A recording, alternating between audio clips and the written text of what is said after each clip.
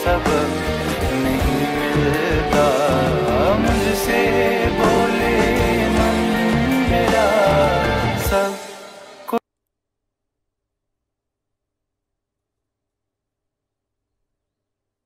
सब नहीं मिलता।